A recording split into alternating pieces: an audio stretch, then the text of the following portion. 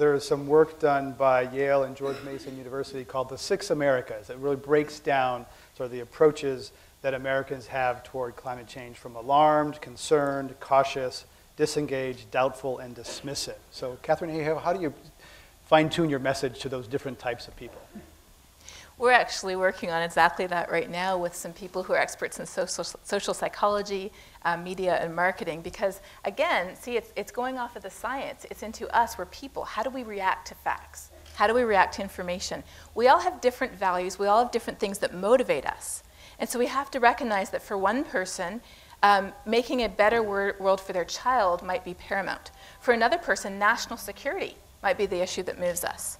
For someone else, else a sense of responsibility, loving our neighbor, or um, stewarding creation might be what, what moves us to the next step. So even though there's a one size facts fit all, there's not a one size message fits all. And that's a new thing within the scientific community. You are not trained to be communicators, you're trained to be researchers. Mm-hmm. Communication is not what you're paid for, it's not what gets you no. tenure, it's not what gets you professional accolades, et cetera. Uh, this is a, something on top of what you're all trained and expected to do. Mm-hmm. So, how are you doing at that? well, we're doing it because, like I said, we have a responsibility. I feel like we, we, we have this issue. I think I probably speak for all of us here that if we hold silent on it, who will speak? We're not in this because we value people's opinions of us. We're not in this because we want to receive pleasant emails in the morning. We're in it because this is the truth, and we have to tell it. Um, then you've also been a key person speaking to communities of faith. And that's one of the most powerful levers. A lot of people in faith. So, how do you get over that God sovereignty issue that humans can't affect creation? that is actually a fairly common question, but it's easy to answer. Just look around us today. Do we see things happening that are bad? Do we see consequences of poor choices that we've made all the time? Somebody has a drink too many, gets in the car, kills an innocent person.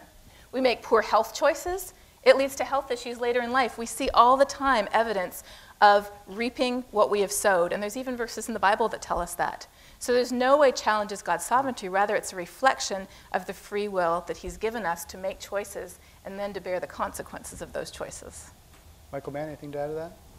Uh, yeah, you know, I, I think that um, at some level, um, you know, whether you want to frame this in terms of religious faith, uh, faith or, um, or ethics, um, to me, we focus so much on climate change as an issue of science or an issue of policy or economics, you know, cost-benefit analysis, but uh, you know, not often enough do we frame it for the issue that it really is. Ultimately, it's an issue of our ethical obligation. Um, uh, I have a daughter, you know, who's seven years old, um, and I want to make sure that we don't make decisions today, that we don't lock, um, you know, that we, we, that we don't lock in a, a future, um, a degraded Earth for her children and grandchildren through the decisions we are making now with our fossil fuel emissions. Um, we, you know, to some extent, we have, um, you know, we have gained uh, economically from uh, access to cheap, you know, dirty uh, sources of energy, uh, but there's a very real cost of that, and that cost is going to be borne increasingly down the road. Um, we still have time to avert a, a, future where we leave our children and grandchildren a degraded planet, but there isn't a whole lot of time to do that.